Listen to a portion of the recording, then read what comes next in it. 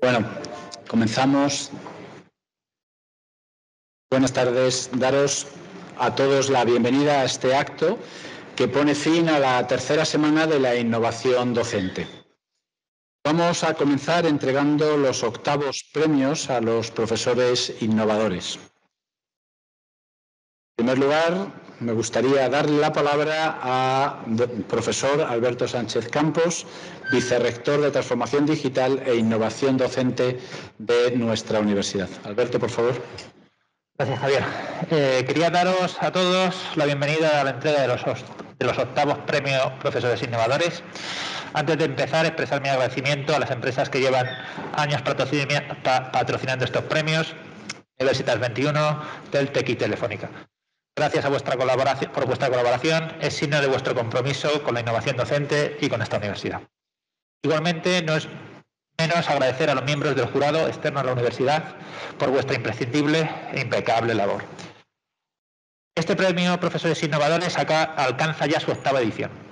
Un año más sirve para poner en valor la innovación docente, visibilizando las prácticas que se han elegido como más innovadoras, a la vez que posibilita el crecimiento del banco de buenas prácticas de docentes de la Universidad Rey Juan Carlos, poniendo a disposición de todo el profesorado las más destacadas buenas prácticas que se están desarrollando en nuestra querida universidad. Pero por encima de todo, el Premio Profesores Innovadores reconoce el esfuerzo innovador en la docencia del profesorado de la URJC y especialmente en esta ocasión en la adaptación a la docencia híbrida o en remoto llevada a cabo durante el curso 2021. Gracias a toda la comunidad URJC por todo vuestro esfuerzo realizado durante la pandemia. No fue, no fue fácil. Nadie dijo que fuera fácil, pero gracias a vuestro esfuerzo y dedicación habéis conseguido que haya pasado no solo de la mejor manera posible, sino siendo un ejemplo para otras universidades y organizaciones. Estuvisteis a la altura y es justo reconocerlo. Estos premios se producen en un contexto de transformación digital y en la apuesta decidida de la Universidad Rey Juan Carlos por un modelo que impulse la educación digital. Hace ahora un año de la celebración de la Conferencia Ministerial de Roma sobre el Espacio Europeo de Educación Superior. Entre sus, sus objetivos, la construcción de un espacio inclusivo, innovador e interconectado, al mismo tiempo que la conferencia ponía el acento en la digitalización. Y justo poco tiempo después, la Universidad Rey Juan Carlos presentó su plan de transformación digital, situándose a la vanguardia de la transformación digital universitaria en toda España.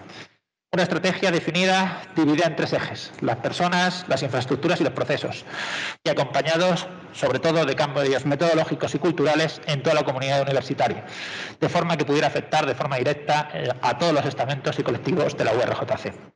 Se busca no tanto la mejora de los procesos tradicionales mediante la adopción de tecnología, sino los cambios en la cultura interna de la universidad y sobre todo de las personas que la forman.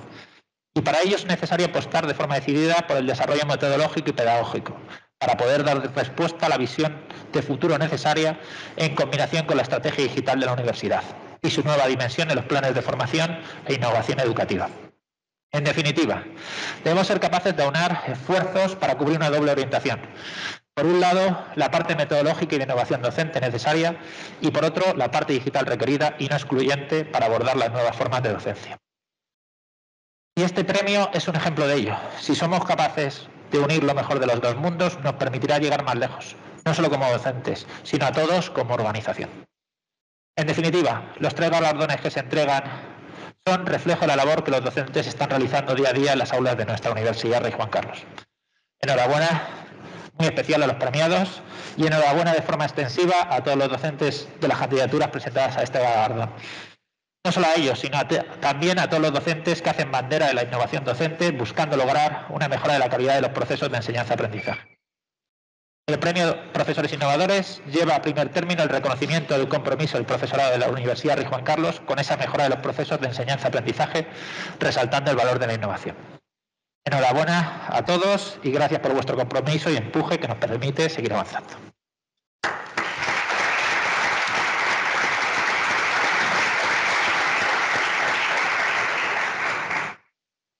Muchas gracias, Alberto.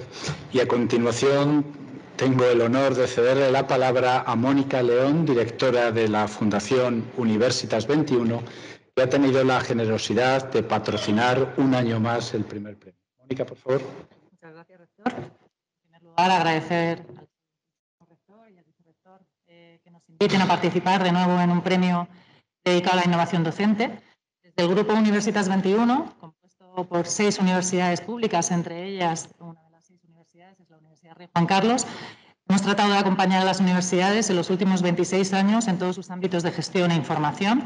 Muchos de vosotros Veréis la palabra Universitas 21 y desde el año 2013 eh, todas las iniciativas de responsabilidad social corporativa orientadas sobre todo al fomento de la educación, de la cultura, no solamente en colectivos en riesgo de exclusión, sino también en, eh, aquí en cada una de las universidades y especialmente las universidades que nos son más cercanas, en fomentar aquellas actividades que pudieran eh, trabajar en la transformación digital, en la innovación, en la creación de redes y en otras iniciativas que finalmente permiten a la universidad crecer y, acercarse más en su labor de, bueno, pues de transferencia de conocimiento, de acercarse a la sociedad y de tener otra vinculación también desde el ámbito de la responsabilidad social corporativa. La realidad que hemos vivido estos últimos dos años ha puesto bueno, pues en jaque a muchas organizaciones. Las universidades han respondido con una nota sobresaliente, desde luego, al reto que se planteó y, bueno, las candidaturas que se han planteado este año y sobre todo el crecimiento de todos esos proyectos de innovación docente ponen eh, de manifiesto eh, bueno, pues la gran iniciativa que, que, ya tomó la Universidad Rey Juan Carlos a través de URJC Online eh, de, de, protagonizar estos premios y, bueno, pues en este sentido creemos desde Universitas 21 que son un ejemplo que podría bueno, pues replicarse en muchas otras universidades y desde luego referencia para la innovación docente y para la búsqueda siempre de, de nuevos retos en el ámbito docente y la cercanía. Y en este sentido, bueno, pues Agradecer a todos los participantes, felicitar a los premiados y esperamos estar aquí el año que viene. Gracias a todos. Muchas gracias, Mónica. Y a continuación, de nuevo, tengo el, placer de cederle la palabra a Víctor Valdés, director de Administración Pública de Telefónica, que también, otro año más, ha tenido la generosidad de patrocinar el segundo premio. Víctor, por favor. Gracias, rector. Eh, muchas gracias, vicerrector. Muchas gracias a la Universidad de Juan Carlos. Para nosotros, para Telefónica, somos una empresa muy involucrada en la universidad. Un auténtico placer estar un año más aquí. Eh, unos premios que ofrecen a la innovación docente y esa innovación es algo que nosotros de Telefónica queremos llevar por bandera. Yo creo que la pandemia el año pasado ha hecho que todos nos transformáramos. Eh, generalmente ningún sector de actividad se ha vuelto a comportar de la misma manera, ni en la empresa privada ni en la pública. Considero importantísimo que todos estos procesos que estáis arrancando de innovación docente, en muchos casos han venido para quedarse, y eso es algo que está dentro de los procesos de innovación. Desde mi punto de vista, innovar es tener una idea que en principio va a cambiar o mejorar el mundo. Y desde luego, aunque esto parezca una frase hecha, estos premios, estas ideas que estáis teniendo para innovar en la docencia, realmente van a estar replicándose en, por supuesto, otras muchas universidades y durante mucho tiempo. En Telefónica pensamos que la innovación y el emprendimiento forma parte de nuestro ecosistema. El pasado mes de octubre, nuestro presidente José María Álvarez Payete, hizo un anuncio en el cual decía que en nuestra Telefónica, vamos a invertir 100 millones de euros en generar un ecosistema de innovación, un hub que pasa por ser el más importante de Europa, donde todo el que tenga que tener una idea y necesite tecnología puede ir allí y hacer partícipe a Telefónica y a otros pedidos del mercado de su idea. Y esto es lo que vengo a comentaros. Ninguna idea es mala, ni siquiera puede provocar que se emprenda después en una empresa privada o puede ser un proceso que aplicamos en innovación docente. En síntesis, estamos muy involucrados con la universidad con esta nueva forma de enseñar. La red de cátedras, que tenemos 23 cátedras distribuidas en todas las universidades de España, hace que sigamos muy cercanos a vosotros. Y por mi parte, dar las gracias a los participantes felicitar a los ganadores y, y gracias rector y vicerrector por otra vez otro año más tener la oportunidad de estar aquí. Gracias.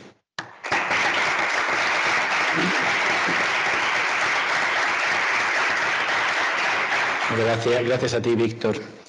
Y ahora toca no toca. Ahora quiero agradecer a, la empresa Teltec, que también ha patrocinado un premio, el tercer premio, pero que lamentablemente no nos puede acompañar aquí esta tarde. Y procedemos ya con la entrega de premios y le doy la palabra al profesor César Cáceres, director del Centro de Innovación Docente y Educación Digital de la Universidad Rey Juan Carlos. Le, comentaba al profesor César Cáceres antes de entrar que este centro, nuestro CIED, está siendo puesto como ejemplo en, toda España. Eh, cómo hemos transformado una universidad, iba a decir con pocos recursos, pero eso me lo, callo, con pocos recursos nos, nos, ponen de ejemplo. Y le contaba que en la semana próxima me, han invitado a contar eh, otras, en este caso el Ministerio de Defensa, que, contemos cómo, cómo, hemos hecho este milagro en la Universidad Rey Juan Carlos. César, por favor. Muchas gracias, rector, y muchas gracias también a los patrocinadores.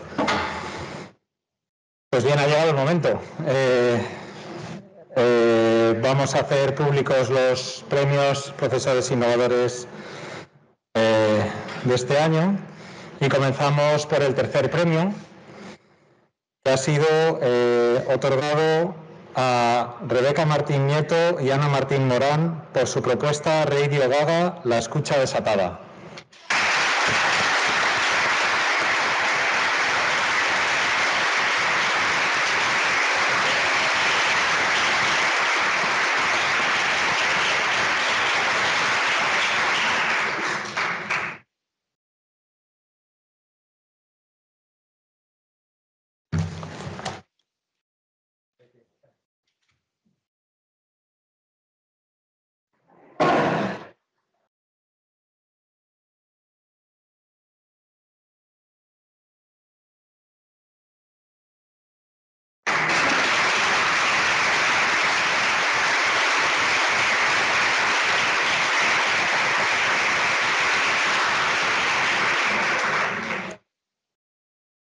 Teltec, por eso como Teltec no podía venir, pues eh, he hecho entrega yo del, premio, del regalo.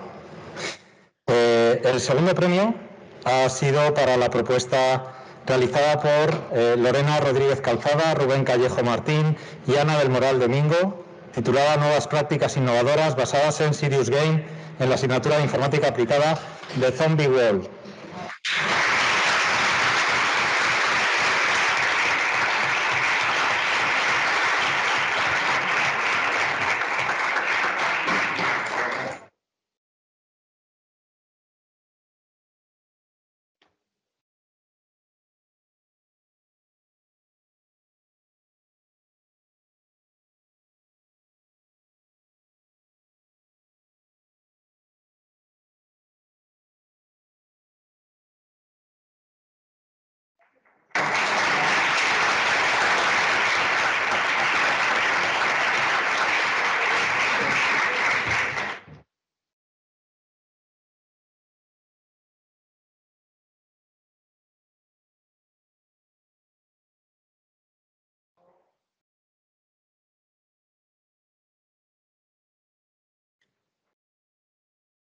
Y por último, el primer premio, que ha sido para David García Marín, con el título de su propuesta del podcast al vídeo interactivo, Metodología Transmedia para la asignatura Nuevas Tecnologías y Sociedad de la Información. Lamentablemente, David no ha podido venir con nosotros por una buena noticia. Fue padre ayer. Entonces, le damos un fuerte aplauso, pero va a recoger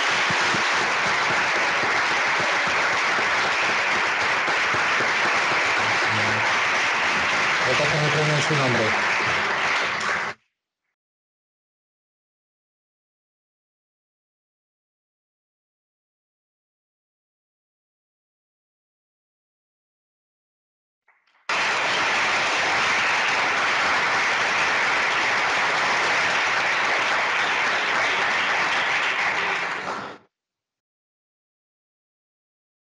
Enhorabuena a todos los premiados. Muchas gracias.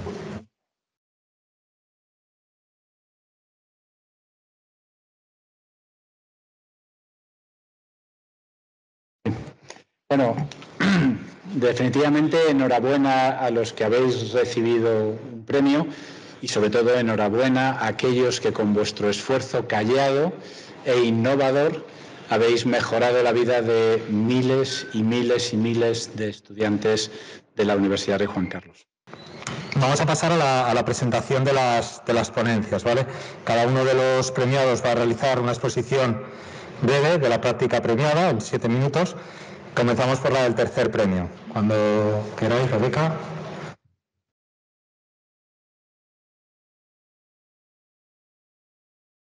Desde aquí, hola, buenas tardes. Mientras estaba cargando la presentación, pues aprovecho para agradecer al CIED las jornadas de innovación docente en la que pues, cada vez participan más profesores y, eso significa pues, que en la universidad hay movimiento respecto a la innovación. ¿no? También quisiera agradecer naturalmente a los miembros del jurado que han considerado que este proyecto pues, merecía, merecía este reconocimiento. Eh, Ana, Gracias por ser cómplice en esta aventura de innovación. Ha sido muy fácil trabajar contigo, me encanta, así que repetiremos seguro. Em, quizá, estoy un poco nerviosa, ¿eh? ¿eh? quizá están viéndonos los alumnos que participaron en este proyecto el curso pasado, porque Ana viene de tener clase precisamente con ellos y vuelve ahora a clase de práctica con ellos. Eh, así que, bueno, puede ser que nos estén viendo. Les agradezco muchísimo la confianza y sobre todo la implicación que tuvieron durante el proyecto. Eh, no sé si tengo yo posibilidad de pasar la presentación. Pero yo no la puedo ver. Es que ese monitor se ha... Vale. vale, fenomenal. Gracias. Bueno, eh, se me olvidaba un agradecimiento muy importante y son los profes que me han impulsado durante este tiempo a meterme en este lío de la innovación educativa, entre ellos Raquel, Desiree Miguel Ángel. Gracias. Eh, y ahora ya sí, dentro del proyecto que llevamos a cabo, pues se realizó en dos asignaturas, eh, tres grupos del, doble grado de periodismo y comunicación audiovisual eh, durante el primer cuatrimestre del curso pasado. donde la Facultad de Comunicación estaba 100% en remoto y eso suponía que nuestra asignatura, que tiene una parte práctica muy importante en los laboratorios de radio, pues tenía que ser adaptada. Eh, es por eso que nos decidimos hacer este proyecto de innovación y bueno, pues así, así fue, ¿no? Em, empezamos mm, diciendo por qué el proyecto se llama Radio Vaga o Radio Vaga, eh, la escucha desatada. Y es porque mm, hicimos una narrativa a través de canciones eh, que hablaban sobre radio y las vinculamos a diferentes bloques del temario. Eh, le pusimos el título de la canción de Queen precisamente porque vimos que era la que más contenido, con la que más contenido podíamos trabajar durante la asignatura. Desde la evolución de la radio, la vinculación al uso del audiovisual, las audiencias, la distribución, la intimidad que hay entre el medio y la audiencia, etc. Por eso le llamamos así al proyecto, pero ahí aparecen pues, otras, otras canciones que también trabajamos durante la asignatura. Entre las metodologías que utilizamos, pues para empezar trabajábamos con clase invertida, dejábamos el material en el aula virtual, eh, normalmente el aula invertida pues se trabaja a través de vídeos, nosotros dejábamos, nosotras dejábamos audios, no solo elaborados por, elaborados por nosotras en algunas ocasiones, sino también externos a través de, pues, de programas de radio o podcaster que tenían contenido vinculado o similar. A través de la taxonomía de Bloom para eh, elaborar prácticas complementarias y también a través de proyectos eh, de aprendizaje basado en proyectos, sobre todo para la parte práctica de la asignatura, donde los alumnos elaboraban dos programas, un programa especializado y un reportaje que ahora explicaré con más detalle. En la clase teórica utilizábamos naturalmente clase síncrona y durante esa clase lo primero que hacíamos era elaborar o desarrollar Em, un Kahoot siempre al inicio de la clase, la primera media hora la dedicábamos a eso, sobre todo para hacer seguimiento de lo que los alumnos habían llevado a cabo durante la semana, ¿no? si habían hecho seguimiento o no del contenido que habíamos dejado en el aula virtual, ese contenido sonoro que os comentábamos antes.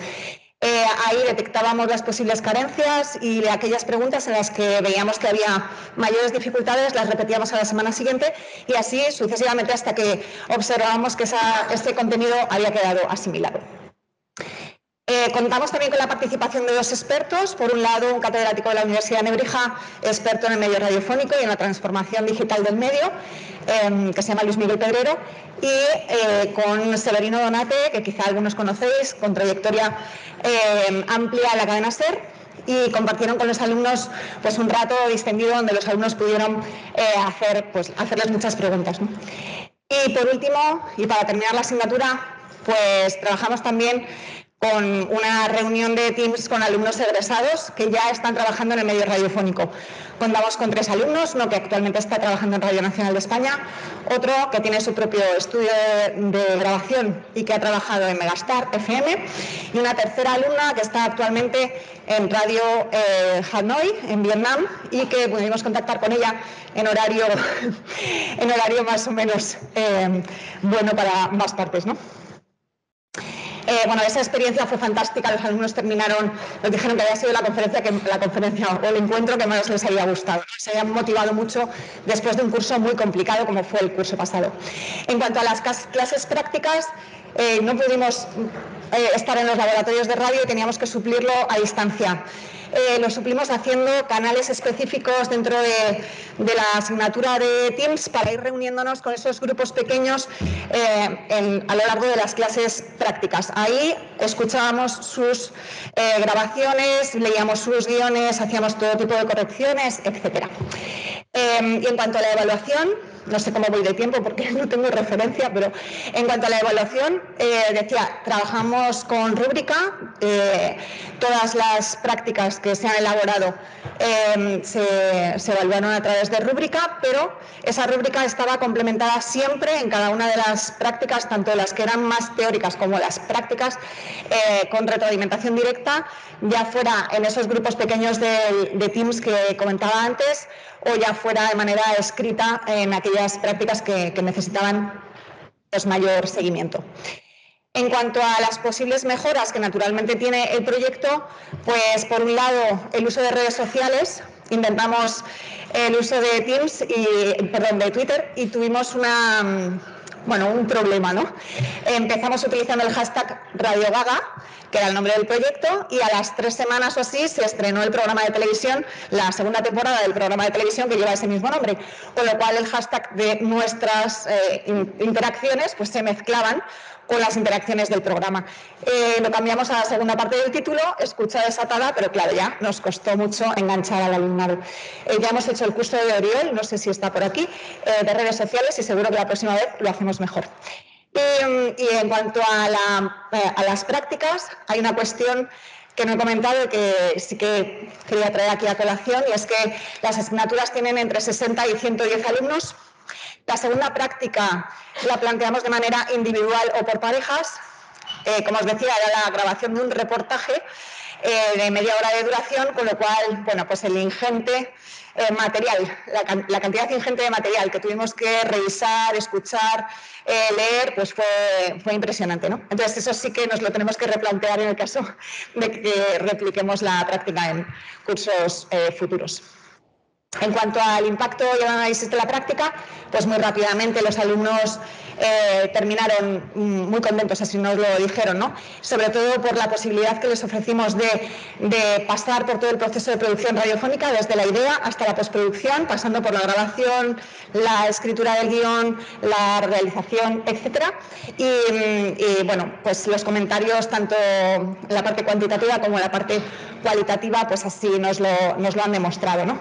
Eh, me quiero quedar con este último texto, que es un comentario eh, privado de una alumna que nos escribió para comentarnos que, bueno, pues que, había descubierto el medio radiofónico, que debe decir que dentro de la Facultad de Comunicación pues somos el hermano pequeño, y, que pensaba ya en el medio como una posibilidad de trabajo en el futuro. ¿no? Y yo creo que nos quedamos con eso, que es lo más satisfactorio eh, para nosotras. Y con esto, pues nada más, muchas gracias.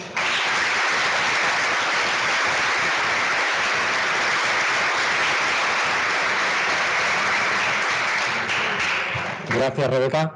Estos mensajes son los que nos motivan, ¿verdad? No hay alumnos aquí, pero si no es mandarnos mensajes de estos. El segundo premio puede pasar, o bien Lorena, Rubén o Ana, a presentarlo.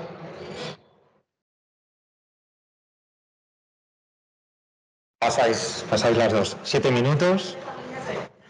No tenéis presión. Pues ah, pasamos a Raquel esta mañana. Bueno, pues muchas gracias por atendernos en esta presentación de nuestro proyecto de las nuevas prácticas innovadoras basadas en un Sirius Game de Zombie World. Eh, somos tres profesores de, como nos la asignatura de Informática Aplicada, Rubén Callejo, Lorena Rodríguez Ana del Moral, y estamos implicados en, bueno, en seguir mejorando la enseñanza universitaria.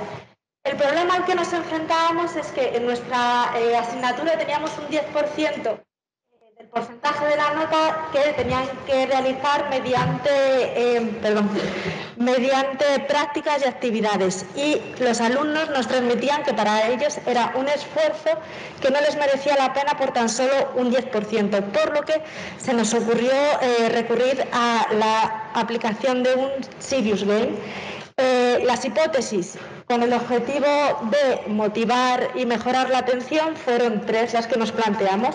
El uso de las actividades Sirius Game aumenta la motivación e interés académico de los alumnos. Si los alumnos aprenden más con las prácticas de Sirius Game frente a las prácticas tradicionales y si conseguíamos también aumentar la asistencia en clase con esta práctica de Serious Game. Para realizarla, bueno, sobre todo cambiar la idea de que un Serious Game es gamificación, el Serious Game está más enfocado en eh, el fin de aprender, no tanto entretener y divertirse como que el fin es que el alumno aprenda. Eh, como bien sabéis, lo realizamos durante el curso 2020-2021 y en el eh, marco híbrido que teníamos, pues los recursos espaciales fueron el aula, los alumnos que estaban en sus casas y para ello lo que hicimos fue apoyarnos en la plataforma de Microsoft Teams para unir las dos facetas. Lo hicimos en distintos campus eh, con un total de unos 115 alumnos de distintos grados como economía o lenguaje de signos. Y las plataformas que usamos fueron Genially y Kahoot para realizar lo que es el juego en sí y luego, por supuesto, lo incorporamos a nuestra aula virtual que todos conocemos y seguimos usando los programas que usamos en nuestra aplicación habitualmente, que son Word y Excel. Y Lorena nos cuenta un poquito más sobre el desarrollo del, bueno, voy a contaros un poco qué es de Zombie World, que yo creo que es lo que nos interesa a todos y es que no es más que un juego de, preguntas que están relacionadas con, nuestra materia, donde eh, hacemos que el alumno establezca un rol. Hemos dividido el grupo en dos, roles, por un lado eh, la resistencia y por otro lado los zombies. Hemos simulado que nos están atacando, que ha habido una serie de personas que se han infectado, se han convertido en zombies y hay otras personas que todavía no están infectadas y siguen siendo la resistencia a base de una serie de preguntas que se lanzan unos a otros, tendrán que quitarse vidas equivalentes a puntos en el, en el juego y nosotros actuamos como gobernadores, gobernadores de una ciudad que simulan nuestros grupos en el aula. ¿Para qué? Para luego interactuar con ellos en redes sociales. Usamos Instagram como red social. Este es un pequeño vídeo que creo que no se va a escuchar. No.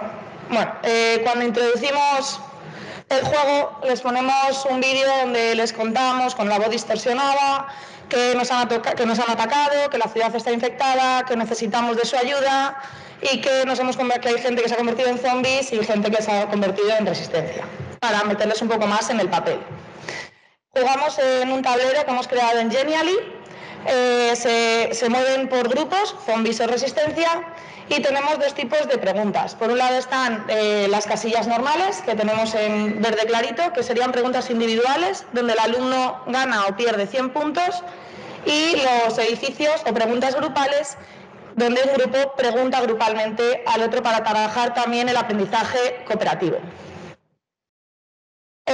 Los personajes especiales que hemos integrado en el, juego eh, hacen que adquieran unas ventajas y hemos hecho seis personajes especiales, tres por cada uno de los, de los grupos. Este, estos personajes se reparten con un Kahoot que hicimos al inicio del, del juego. Por un lado tenemos los personajes de la resistencia y por otro lado los personajes zombies. En cuanto a las preguntas, tenemos tres tipos de preguntas, las multirespuesta, teóricas las teóricas normales y luego por otro lado las prácticas. Estas preguntas prácticas, al encontrarnos en un sistema híbrido, eh, lo que hacíamos era que el alumno compartía la pantalla y ejecutaba la acción de la pregunta. En los edificios, como son preguntas grupales, eh, el que era el portavoz del grupo era el que ejecutaba la acción. Bueno, aquí tenemos el Genially con las preguntas individuales y por otro lado las preguntas grupales de los edificios. Eh, ¿Cómo se puntúa en el juego? Por pregunta acertada obtiene 100 puntos, por pregunta fallada se restan 100 puntos. Pero antes de fallar la pregunta, el alumno cuenta con el comodín, que es eh, que alguien de su grupo puede ayudarle a contestar a la pregunta si él no sabe contestarla, haciendo que los 100 puntos se dividan entre dos, 50-50. Eh, la calificación en la asignatura es un 10%, un punto en la asignatura, por lo tanto la puntuación máxima en el juego es de 1.000 puntos. Hemos usado también el aula virtual para dotar al alumno de unos recursos para entender mejor el juego y poder formar una estrategia. Eh, donde encuentran pues, los, alumnos con la puntuación de cada uno para que puedan pensar a quién preguntar si quieren quitarle puntos o ayudarle. Eh, un Genially donde están los personajes, los objetos y una conversación, eh, un chat en el aula virtual para crear estrategia entre ellos y poder hablar sin que el otro grupo sepa de qué están hablando. Y bueno, las redes sociales, como he dicho, que nos consideramos que son muy importantes, hemos, usado Instagram para intentar eh, conseguir un feedback positivo alumno-profesor. Los resultados obtenidos hemos calificado, o sea, hemos evaluado por un lado la entrega de las prácticas del curso 2019-2020 y la asistencia al juego, la participación en el juego. Hemos visto un incremento notable que también hemos visto reflejado en la calificación. La calificación antes era de una media de un 6 y ahora estamos llegando a más de un 8. Y bueno, para la motivación hemos hecho un cuestionario EMSI a través de Google Forms eh, y hemos eh, obtenido eh, que un 89,9% del alumnado considera una actividad divertida y 41 de 49 dicen sentirse bien realizando la actividad. Por lo tanto, concluimos con que aceptamos las tres hipótesis que ha planteado mi compañera Ana, donde conseguimos más motivación, más asistencia a clase y mejores calificaciones, por lo que consideramos que The Zombie Ball es una muy buena alternativa a la práctica planteada en cursos anteriores. No se puede escuchar, pero habíamos preparado un pequeño vídeo con una jugada donde podemos ver cómo la alumna pregunta a otro compañero, gana una serie de objetos y movemos la ficha. Lo sentimos no poder, eh, que no lo podáis ver, que hubiera sido interesante. Y bueno, pues nada más, os dejamos nuestro Instagram por si queréis eh, tenerlo en cuenta y nuestro correo electrónico. Muchas gracias.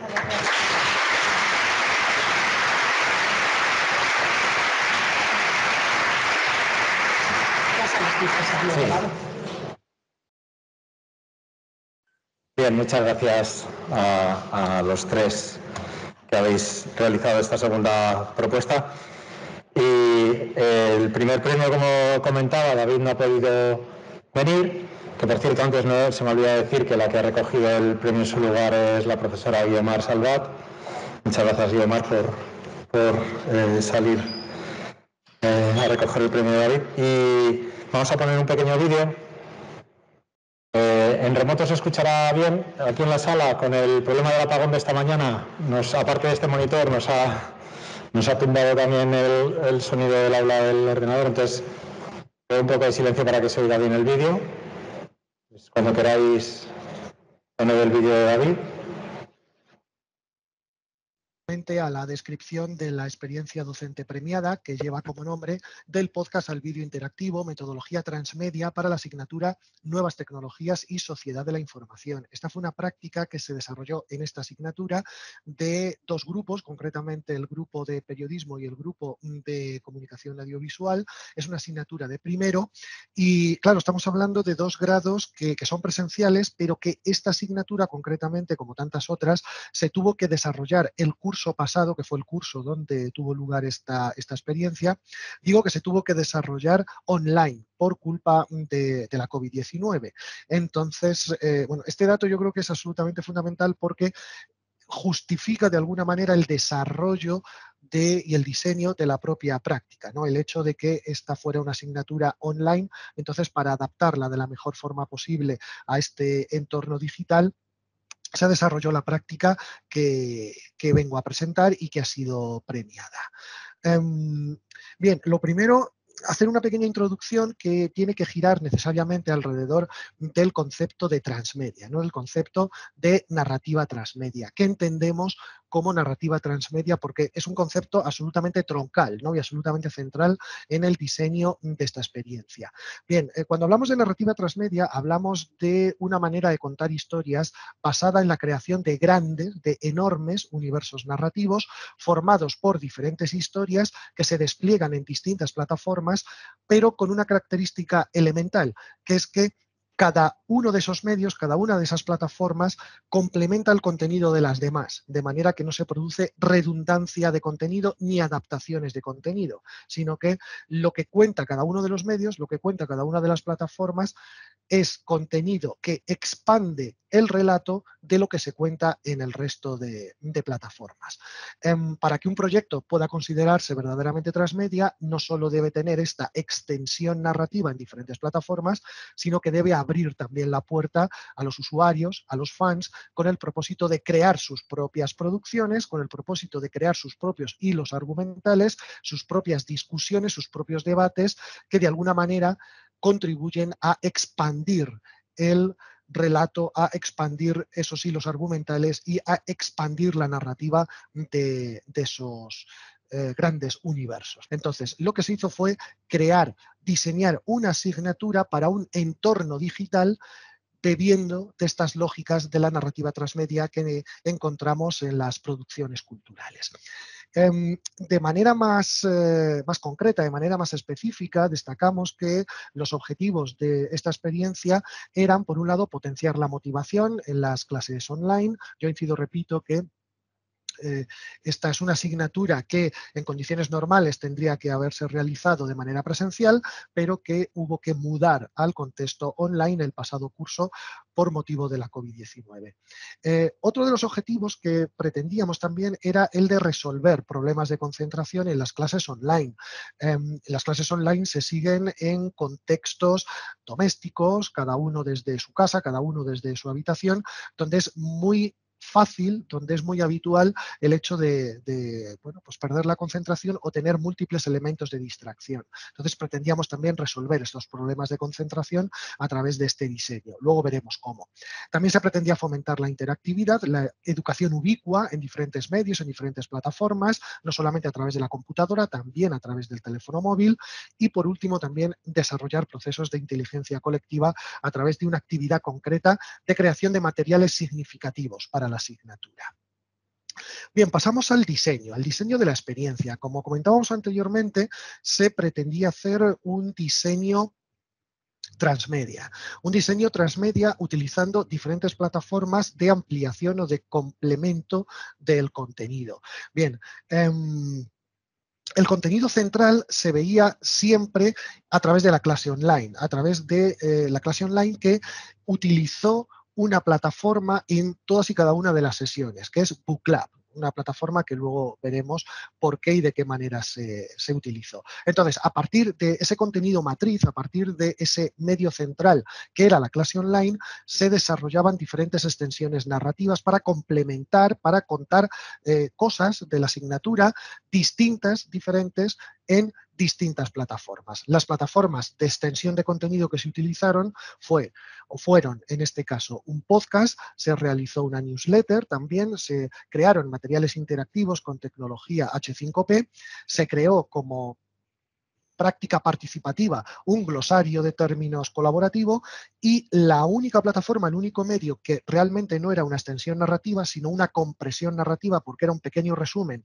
de cada uno de los temas, de cada una de las unidades didácticas que se veían en las clases online, fue el vídeo resumen pasamos a la descripción de cada una de las plataformas que se utilizaron. Primero, la esencial, la fundamental, como hemos visto anteriormente, es la clase online. Eh, esto se colocó en el centro de todo el diseño, en el centro de todo el proyecto. El contenido fundamental se veía ahí y a partir de lo que se veía ahí había diferentes extensiones narrativas, como vemos eh, en el esquema. Entonces, para la clase online se utilizó esta plataforma, BookLab. Es una plataforma muy interesante que está perfectamente integrada en aula virtual y que em, garantiza una mayor interactividad sobre todo interactividad tecnológica a la hora de diseñar las clases y una cierta gamificación también. Es una herramienta que permite crear múltiples actividades para integrarlas en clase. Es una herramienta, por tanto, muy, muy versátil que permite, por ejemplo, proponer preguntas abiertas, preguntas tipo test, relación de conceptos, em, rellenar huecos, ejercicios para rellenar huecos con palabras clave o, por ejemplo, una que yo utilizaba mucho y a mí personalmente me gusta mucho, que es eh, la, actividad de nubes de palabras. Es una herramienta que nosotros utilizamos con el sentido mm, de, por un lado, Em, mantener la concentración en clase, porque claro, ellos sabían que cada 15, 20 minutos de explicación del profesor, eh, justo después de, ese segmento, iba a haber alguna actividad con el objetivo de trabajar esos contenidos, con lo cual se mantenía la concentración o estaban obligados a mantener la concentración en clase, eso por un lado, y por otro lado, a mí como docente también me servía para saber quién estaba al otro lado realmente conectado y siguiendo la clase. Bien, a partir de lo que comentábamos, de lo que se decía, de lo que veíamos en clase, lo que hicimos fue desarrollar diferentes extensiones narrativas, como hemos visto en el esquema anterior. Una de esas extensiones narrativas se hizo en formato sonoro, en forma de podcast. Se diseñó un podcast que elaboré yo bajo el nombre de Cuaderno de Autores con el objetivo de ampliar en aspectos biográficos y sobre todo en aspectos teóricos, es decir, en el pensamiento y en la teoría de autores clave para la asignatura, pero que no éramos capaces de, ver en profundidad en clase. ¿Por qué? fundamentalmente por la falta de tiempo. ¿no? Entonces, se seleccionaron siete autores fundamentales para, para nuestra asignatura y se le dedicó un capítulo de este podcast a cada uno de esos autores. Bueno, ahí tenemos los siete, todo esto se colgó en aula virtual y además es material que está en abierto en la plataforma evox. Otra extensión narrativa que utilizamos fue en forma de newsletter. Eh, la newsletter, por cierto, que es un medio, ¿eh? es una, no sé si decir una tecnología, pero es una estrategia que paulatinamente se está poniendo cada vez más de moda y que vienen utilizando pues prácticamente todos los medios de comunicación con el objetivo de ofrecer contenido muy de nicho a sus suscriptores. Vale, pues con el mismo sentido se utilizó también en la asignatura. Cuando llegamos a la parte de desinformación y fake news, lo que hice fue diseñar una newsletter que recibían los, los estudiantes en su correo electrónico, en el correo electrónico de, la universidad. Claro, hasta el momento hemos visto solo... Mm, plataformas creadas por el docente que proponen una interacción o una provisión de contenidos distinta, diferente y complementaria entre ellas. Pero para que un proyecto sea considerado verdaderamente transmedia, necesita el hecho mm, de que los usuarios, el hecho de que exista una participación para extender esos contenidos que de manera oficial se, ofrecen. Vale, em, esta actividad participativa se logró con el glosario colaborativo, una actividad de glosario colaborativo que contaba un 10% en la nota final y en la que individualmente cada, cada uno de los estudiantes tenía que escoger un concepto, tenía que escoger un término visto en la asignatura y tenía que proponer una definición distinta a la que habíamos visto en la asignatura. Y además tenía que buscar un contenido en la red, un material en la red que complementara esa esa definición o que eh, de alguna manera completara o que fuera alusivo a esa definición o a ese concepto que ellos habían definido. Bien, algo interesante del glosario colaborativo es que es una herramienta eh, totalmente integrada en aula virtual y Además, eh, lo que nosotros hicimos fue, una vez revisado por el docente y una vez corregido por el docente, se exportó en PDF organizado por temas con el propósito de que ese material sirviera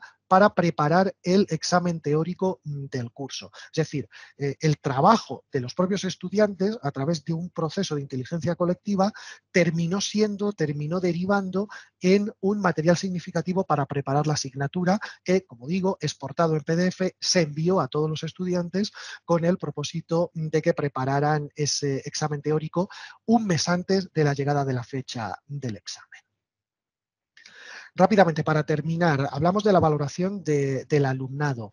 Em, ahí tenemos eh, los porcentajes de los estudiantes que valoraron positiva o muy positivamente cada una de las plataformas. Las cuatro más valoradas fueron BookLab, el 97,6% la, la valoró, la evaluó muy positivamente o positivamente.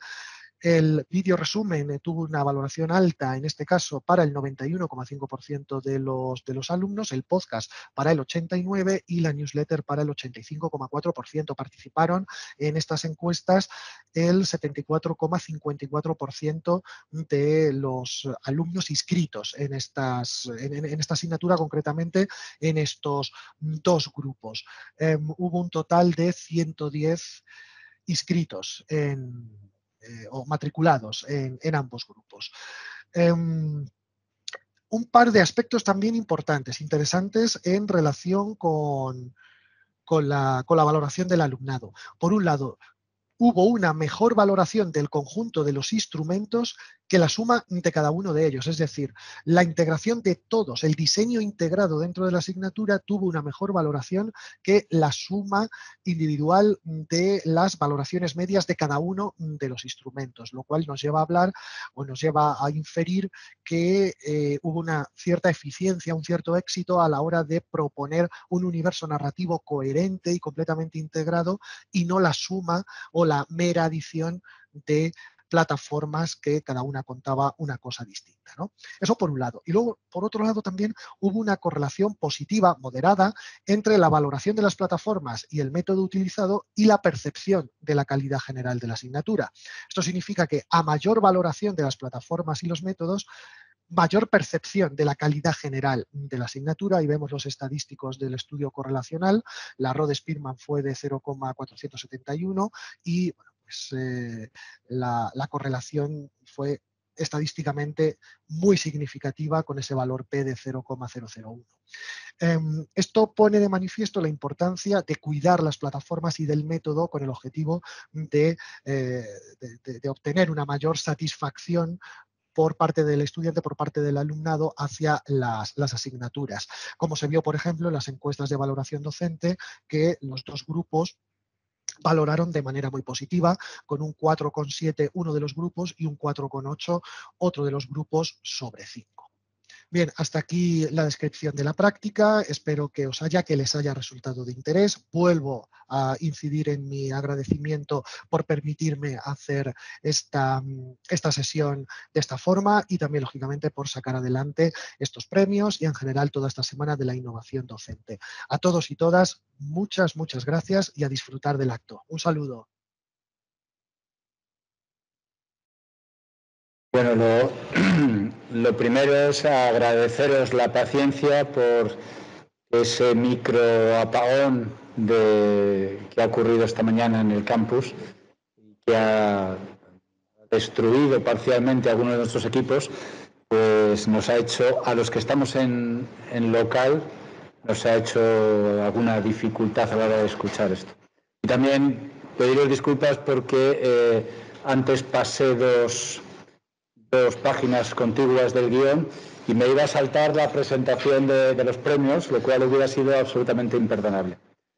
Bueno, dicho esto, damos por concluido este acto, este acto de, entrega de premios de, innovación docente de la Universidad de Juan Carlos.